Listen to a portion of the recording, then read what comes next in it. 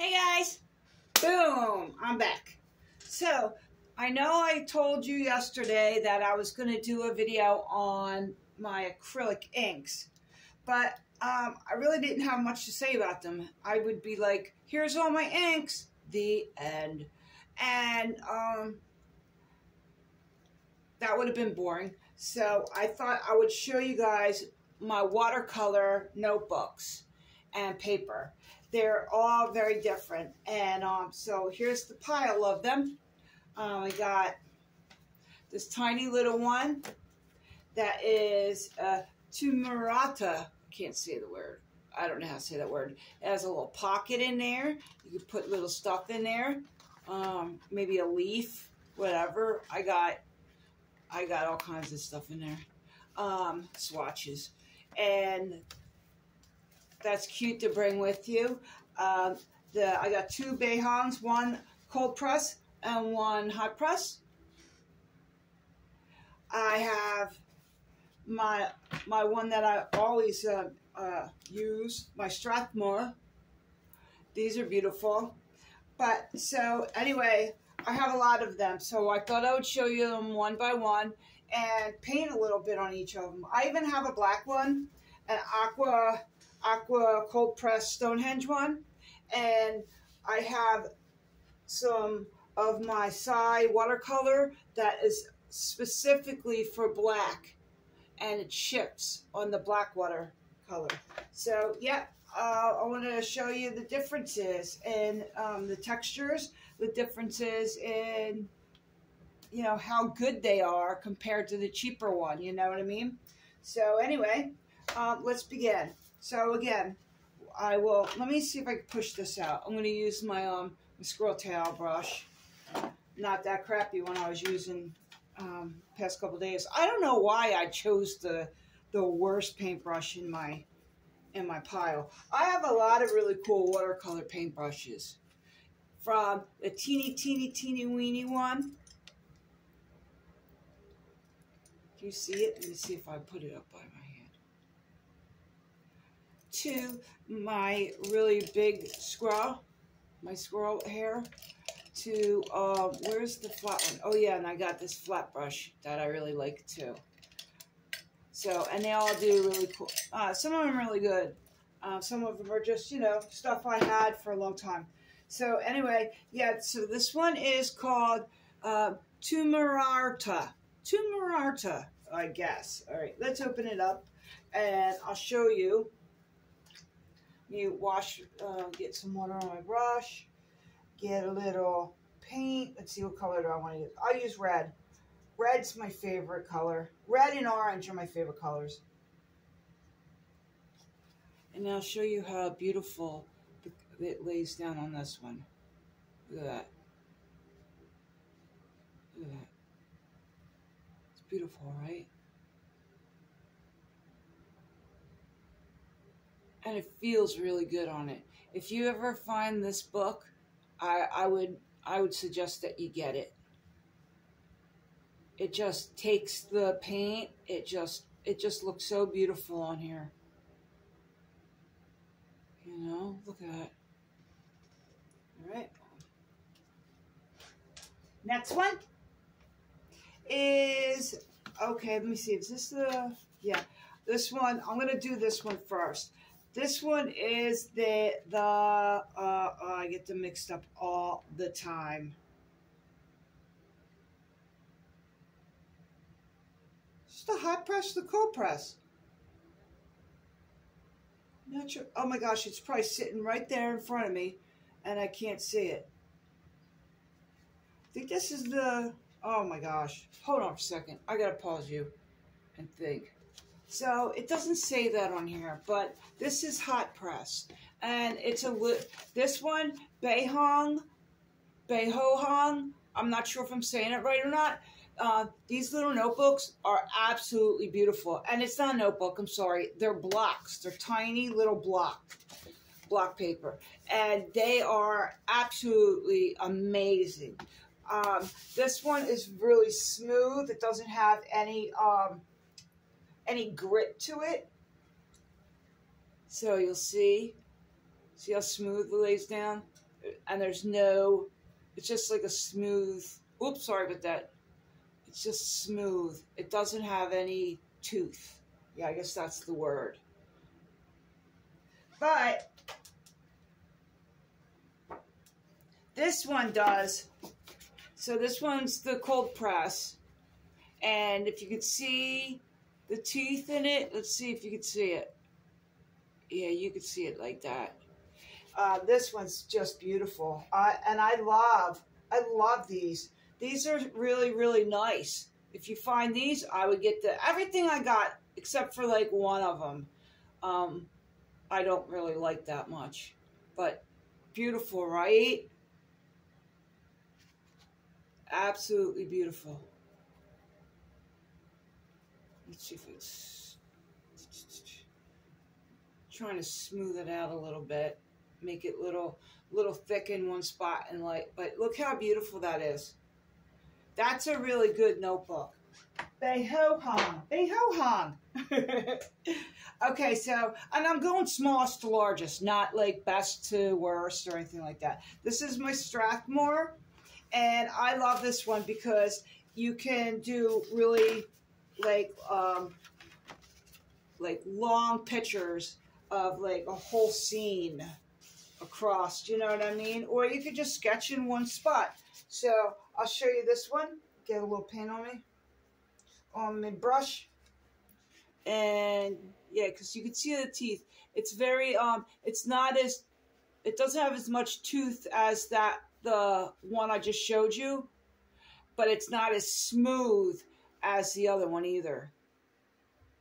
This one is really great, especially for just grabbing and going outside. A lot of the smaller ones I love taking outside with me.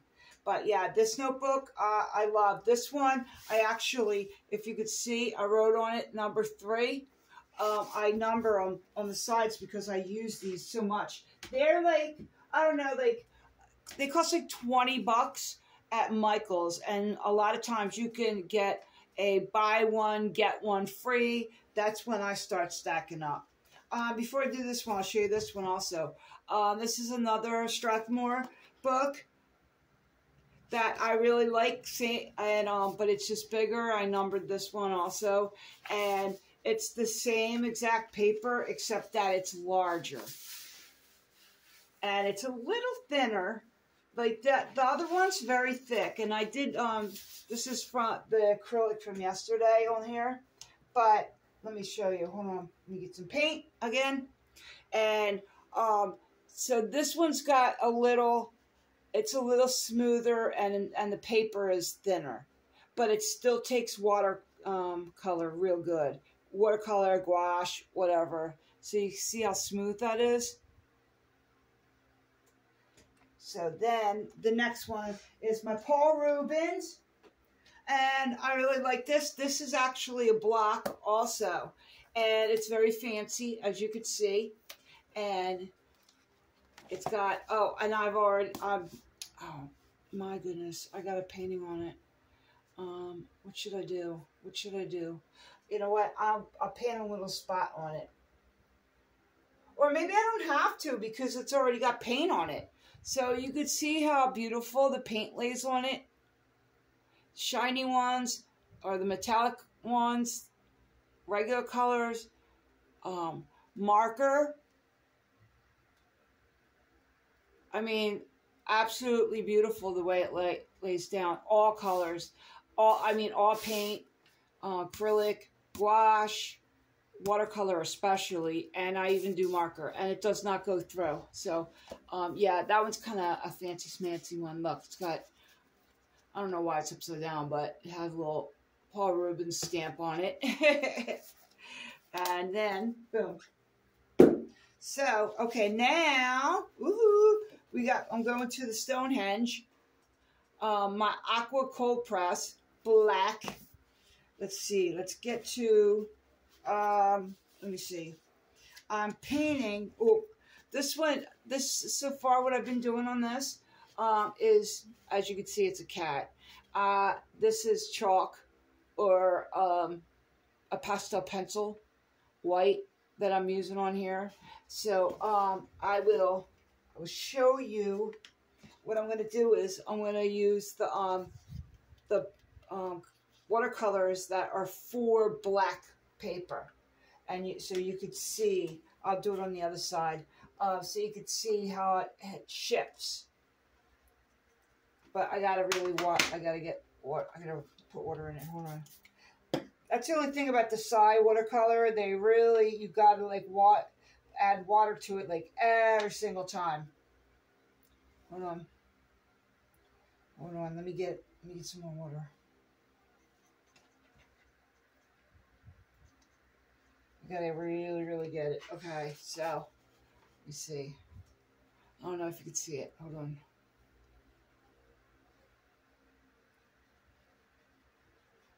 So beautiful. Well, I'm gonna add a little bit more. Jeez. Let's see. Like I said, the only thing I don't like about the salt, you gotta constantly add like water, water, water. All right. All right. Let's see if you can see it shifting. Oh yeah, you can see it. See that? Cool, right? Let's see if it shifts a different color. There's greens and reds in that one. And uh, yeah, I love that. And I, I don't know if you could see how beautiful it lays down, but you could still see the bot, the um, grit to it. It's got very light grit, and it's really good for um, pastel pencils. That that I noticed. Okay, now here's the one that I don't like so much. Uh, this is the uh, Artist Loft, the third third level, as you can see, and it's a block and um, I like it, but I don't. I don't know what I don't know how to describe it. That when I I um, paint on it, it just seems dull at the end. Like I keep using the same color red on the white paper so that you could see all the difference. But like um, I've painted pictures, it looks really beautiful and juicy when it lays down. But when it dries, it just looks chalky or not chalky, but um,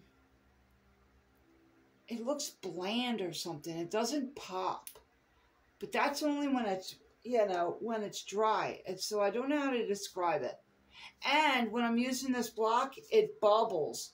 It bubbles up. Now, a block is, the whole reason behind a block is that it stays flat while you're painting it. But this one, it bubbles up. It's very strange. Okay, so let's go to the Okay, so, ooh, ooh, ooh, wait a second. This one, this one's brand new to me. I literally got it yesterday in the mail, and I wanted to try it out here. Um, this is called, I don't know, it just says, wait, I know it has a name. It's a fluid cold press finish watercolor paper, 140 pound, 30 GSM, and there's 50, it's an easy block, 15 sheets bound on two edges. So, uh, okay, I see. So, let's see. Yeah, I guess it's just called fluid. But it had some really good reviews on it. So it's not bound on this side, and it's not bound on this side. It's only bound here. Yeah, it's very thickly bound here and and here. So let's try this one. I haven't tried this one yet. So, oh yeah, that looks nice. It's kind of slippery. It moves real nice across the paper. As you can see, it's like literally dripping. This would be good to do like a watercolor pour on. Definitely. Definitely. Maybe that's why it's called fluid. Okay, and this one's also new to me. Um, Hahnemühle. Hahnemühle watercolor, um, 30 GM squared, 140 pound, 12 sheets in this, aquarelle cold pressed. So um, this one looked really pretty. Look, it all comes in different, it's like the collection. And it comes in different languages right here. Uh, this one's, as you can see it. And um, then when you open it up, it's got this excuse me, it's got this really thin, beautiful piece of paper protecting the front cover. so um, I am going to try Uh, don't worry, I'm not wasting this paper because I'm going to go back and do like um, an abstract on these papers with the red. So, all right, let's see how this lays. Oh, I like this. Oh, that's beautiful. Oh my God. And you can't see, you know what I like this about this one? You can't really see the grit or the, um, like the shape of the paper. I don't know how to explain it, but a lot of the paper has like a, a like a, a pattern on it. I don't see any pattern under that paint. Oh my gosh, that's beautiful. Definitely get, try this paper. Definitely. Oh my God. And then, of course, our old-time favorite, Arches. Woohoo! Of course, Arches. We all love Arches paper. Now, this isn't the block. This is just a, um, uh, the pad. But, you know I like the block. And I do have one. I'm just using this one. Because it's new. It's a new, fresh, new, fresh pad. So I have to force myself to paint on it or I'll never paint on it. Because I'll be like, oh, this stuff's too expensive. I don't want to. I don't want to ruin it. I think that's one of the reasons why I wanted to do this video is to make sure I painted on this. now, of course, that's beautiful. You see that? Look at that. So, actually, now, Arches, of course, is my all-time favorite. But I think that Hannah Hannah Buell or whatever it's called is my new favorite. That one, yeah, I think that's my new favorite, definitely. But I do love all my notebooks, all my paper, water watercolor paper, and I just wanted to share that all with you. And um, I hope you're having a great day, and I guess I'll see you tomorrow. Bye bye.